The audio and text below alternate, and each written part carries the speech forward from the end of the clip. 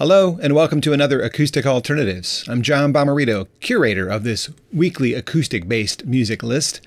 Per normal, I will highlight some of the talented people making music in Michigan alongside of other national and international talent. I plan to highlight a few artists who are doing shows at venues near me as well. Starting it off this week, a song that is a few years old, but I just heard it and it struck me as a song that a lot of people sure could use to hear right now. It's also a song I'd love to hear our second performer do a cover of. I'll have to suggest that if I get a chance. This is Emeli Sandé. You are not alone on Acoustic Alternatives.